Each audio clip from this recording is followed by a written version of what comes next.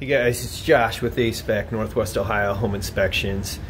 Uh, today I wanted to show you a water softener drain. Um, this is something I uh, see probably, I would say 90% of the time with, uh, with water softener drains. That's where they're tied into the, the sewer system, uh, directly tied into them, or what's called a cross connection.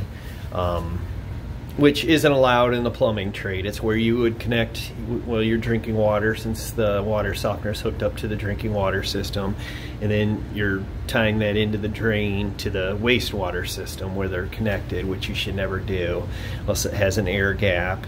Um, in this case, uh, this one is actually right, and that's the reason for the video, and I kind of wanted to show you that, show you that um, and how the right way to do it. But anyway, you can see we got it going up here and I instantly thought right away that it's gonna be tied in, but then I come around over here. Yeah, and they actually got it tied in properly here. They've got a, uh, and this is how you should do it. Got a trap here. Um, this is actually on the vent stack here, but uh, nonetheless, it's going to the, the drain. But yeah, you can see they got the uh, there's the the drain piping there, and we got our air gap fitting here, and then we've got a uh, little uh, riser and a stack and a, and then the trap.